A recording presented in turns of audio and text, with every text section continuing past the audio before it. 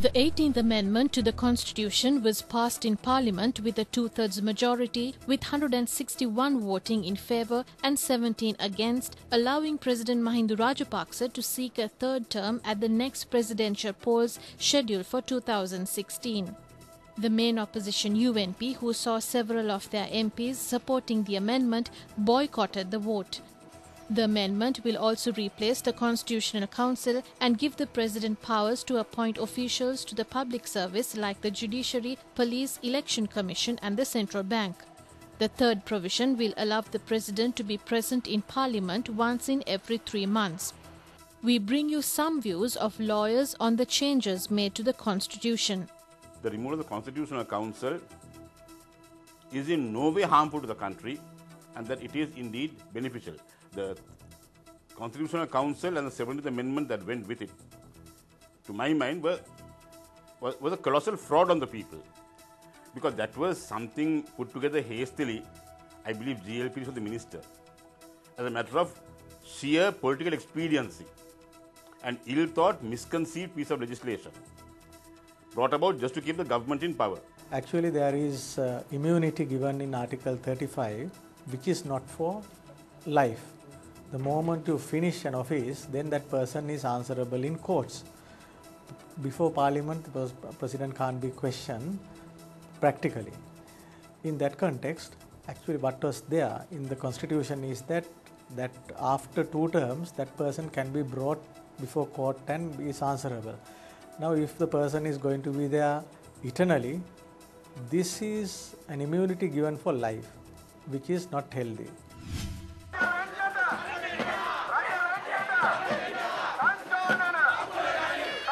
Hundreds of supporters of the main opposition UNP took to the streets carrying black flags and shouting anti government slogans against the 18th Amendment to the Constitution, which was presented to Parliament today. Protesters who began their march from UNP head office Sirikota burnt an effigy of President Mahinda Rajapaksa and banners carrying the pictures of his family at Bangalahandia in Kotte. Protesters demanded the government to withdraw the constitutional reforms which will allow President Mahinda Rajapaksa to run for a third term in 2017. UNP leader Ranil Wickremesinghe, who is under fire within his own party for poor leadership and shunning internal reforms, pledged supporters that he will restore democracy and uphold the sovereignty of the people.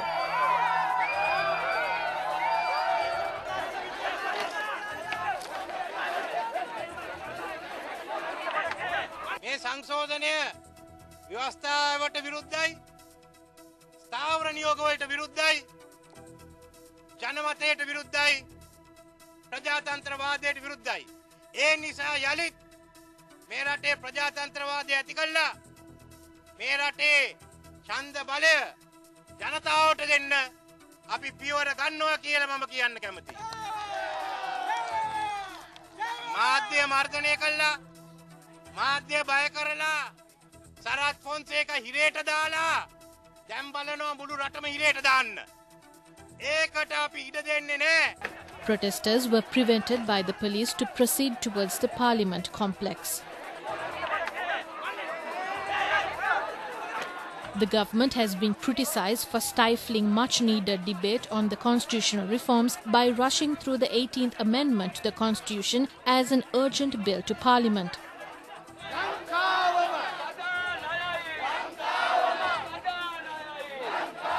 Meanwhile, a large number of supporters of the ruling UPFA were seen lining along the Parliament Road in Rajagiriya carrying images of President Mahinda Rajapaksa in support of the amendments.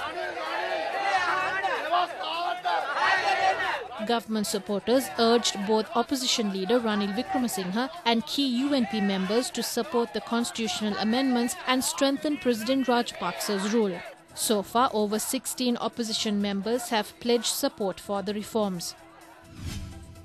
The constitution should only be changed to strengthen the powers of the people and not the executive, the leader of the Democratic National Alliance, Sarath Fonseca, said.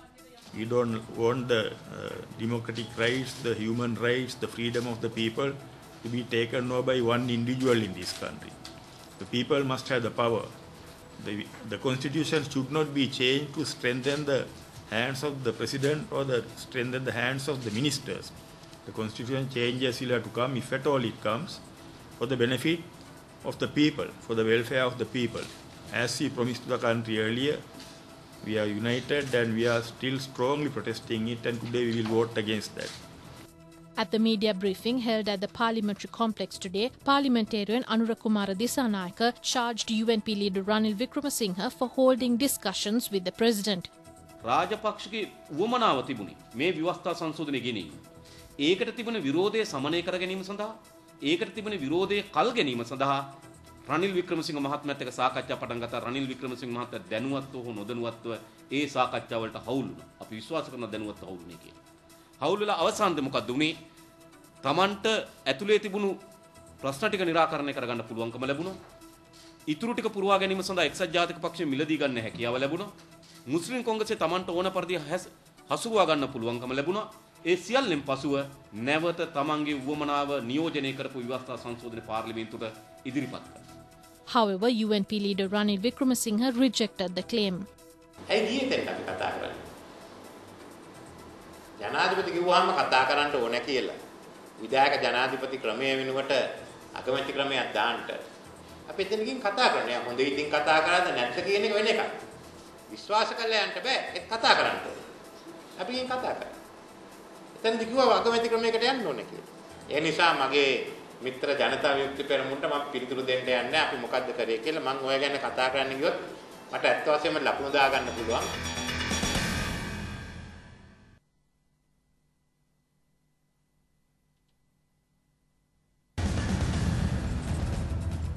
Opposition MPs Abdul Kader, Upeksha Swarnamali, Earl Gunasekara, Nimal Wijesinghe, Lakshman Seneviratne, and Manusha Nanayakkara, who pledged support for the 18th Amendment, crossed over to the government today. Opposition members who supported the 18th Amendment will be absorbed into the ruling SLFP, citing Prime Minister DM Jayaratne, media report said. The UNP earlier said they will take disciplinary action against party members who violated their policies. The Education Ministry is looking to hold the All Island Inter School Sports Festival with the financial support of the private sector. වඩාම ආකර්ශනී හා අභිමානවත් ලෙස ජාතික ක්‍රීඩා උළෙල පවත්වන්ට මේ වර්සය තීරණය කරලා තිබෙනවා. නමුත් අපිට ඉතාම පිරමැසුන් දායකව අපි සියලු දෙනාගේ සහයෝගයෙන් අනුග්‍රහයෙන් තමයි මේ ක්‍රීඩා උළෙල පවත්වන්ට සිද්ධ වෙලා තිබෙන. එහිදී රජයෙන් ලබාගත හැකිව තිබෙන අරමුදල් ප්‍රමාණය බොහෝ සීමිත නිසා. අපි බොහොමයක් ක්‍රීඩාවට ආදරේ අධ්‍යාපනයට ආදරේ දූදරුවන්ට ආදරේ රටට ආදරේ ව්‍යාපාරික ප්‍රජාවගේ ආධාරය අනුග්‍රහය ඉල්ලා සිටලා තිබෙනවා. තිලින හා වෙනත් දැරිය යුතු අධික වියදන් දැරීම සඳහා. A large number of school children from the north and eastern provinces will also be taking part in the festival for the first time in three decades since the end of the war last May. සියලු ජනකොටස් එකතු කරගෙන පළල් මට්ටමේ දැවන්ත ක්‍රීඩා උත්සව සංවිධානය කරන්නට පුළුවන්කම තිබුණේ නැහැ.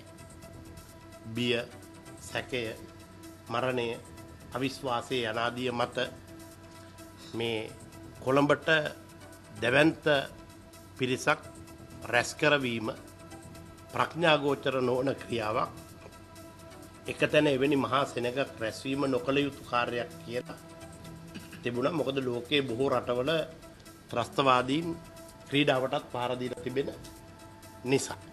The estimated cost for the event is around 30 million rupees and the ministry currently has only 10 million rupees.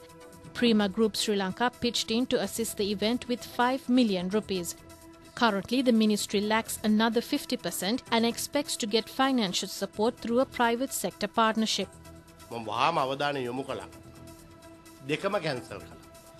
සන්දර්ශනය ලක්ෂ ඇත්තාවක් කරවන සන්දර්ශනය එපයි කිව්ව එක. බත්පතට වැඩි දාලා තියෙනවනම් බත්ටෙන්ඩරුත් මින් පස්සේ නෑ. ඒ නිසා ඒ දරුවන්ට අවශ්‍ය කෑම ටික ඒ ගුරු මහත්ම මහත්මින් අවස්ථාවේ දරන්න වෙන වියදම අපි බෙදා හදාගෙන කරනවා මේක රජයේ මුදල් බෙදෙන නෙමෙයි. The All Island Inter-School Sports Festival is scheduled from the 29th September to 3rd October. The Met Department says there will be showers at several places in the western Sabaragamuwa and central provinces and in the Galle and Matara districts. Thunder showers may also develop at a few places in the Uva and eastern provinces during the afternoon or evening.